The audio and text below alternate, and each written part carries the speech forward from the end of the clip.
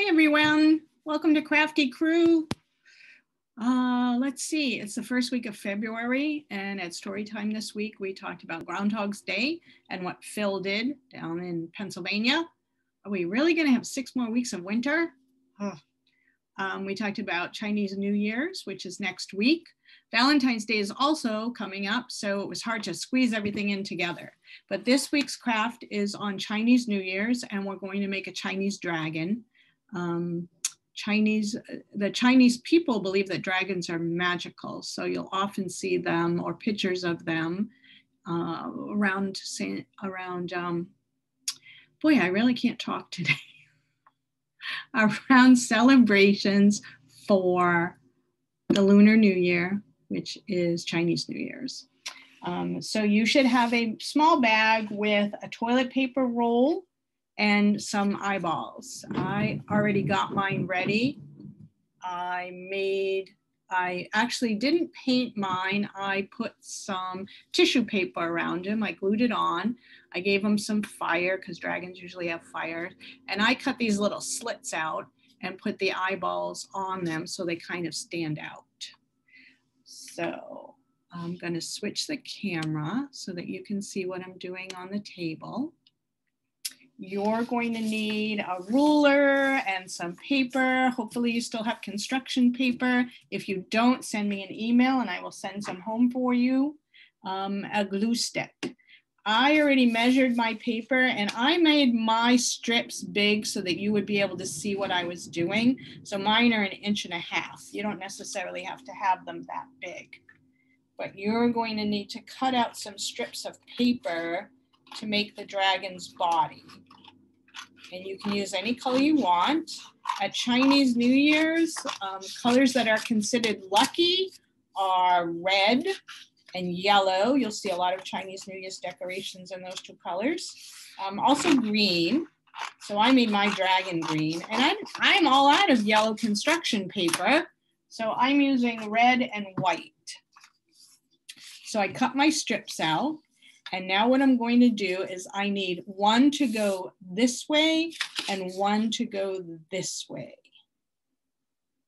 And I'm gonna put a little bit of glue right there. This is a good exercise for your fingers because you're going to be doing a lot of folding. And if you look on the paper in your craft bag, you will see a link to a website that has all kinds of Chinese New Year's crafts. And this one is also on there. So you'll be able to look at pictures on how they do this. Uh, now all you're going to do is fold this.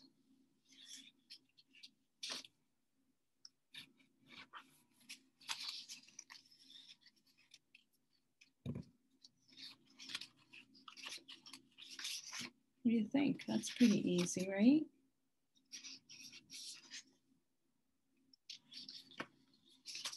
And essentially what you're going to do is overlap them.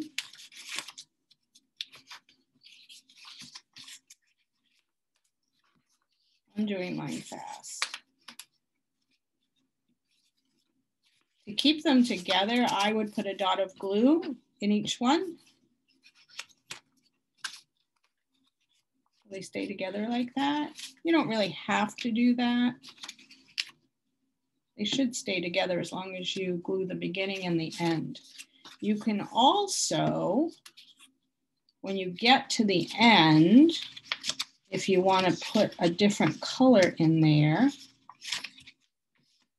now that I'm at the end, if I wanted a different color, I could glue it onto here and I could make this longer. And this essentially, see the colors?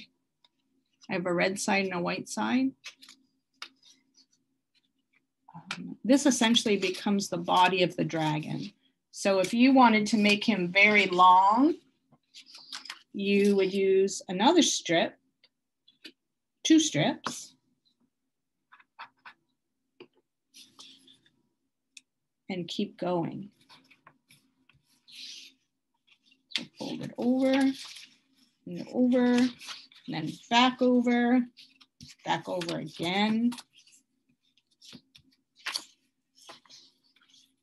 And you just keep folding it until you have a really long body.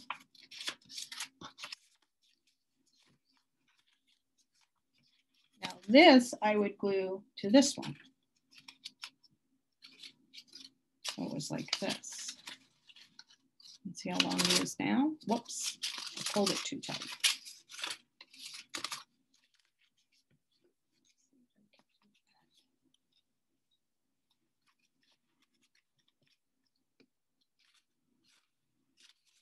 Uh, this is red, so I want to go a white one on there. And I'm going to glue this red one on there. You might need to do a little bit of trimming if your paper sticks over.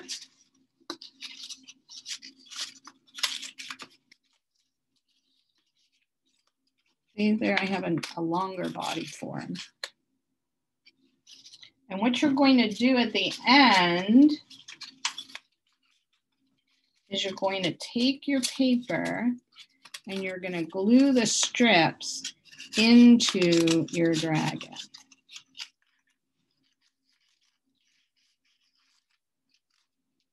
There. My glue wasn't dry, so I don't have the very long body. I guess I need some more glue in there too, don't I? The glue stick will work really well on this craft.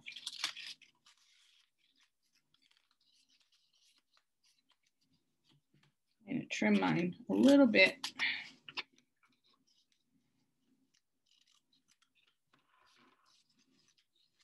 And then I'm going to put some more glue. I'm going to tuck it inside.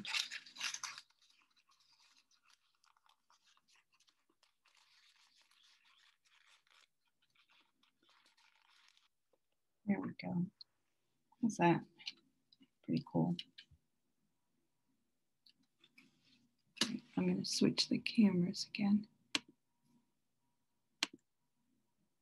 There we go. I'll move that one out of the way. So there's my dragon. There's this fire. I have my eyeballs. He has little nose holes in there. And this is his body. And like I said, you can keep going, make different colors. When you get to the end, if you want to give him a tail, you might want to cut that so it looks more like a tail.